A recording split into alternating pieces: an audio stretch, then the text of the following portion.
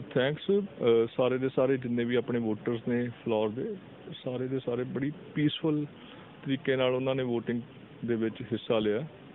ਆਪਣੇ ਕੋਲੇ ਜੋ ਹਜੇ ਤੱਕ ਦੇ ਆਏ ਨੇ ਫਿਗਰਸ ਉਹਨਾਂ ਦੇ ਅਨੁਸਾਰ it is going to be around 65 plus percentage of caste votes ਔਰ ਕਿਸ ਤਰ੍ਹਾਂ ਦਾ ਮਾਹੌਲ ਦਿਨ ਮਾਹੌਲ I think it has been very peaceful and calm ਅਸੀਂ ਦੇਖ ਰਹੇ ਸਾਰਾ ਦਿਨ ਤੁਸੀਂ ਕਾਫੀ ਹਾਰਡ ਵਰਕ ਕਰ ਰਹੇ ਸੀਗੇ। ਚਲੋ।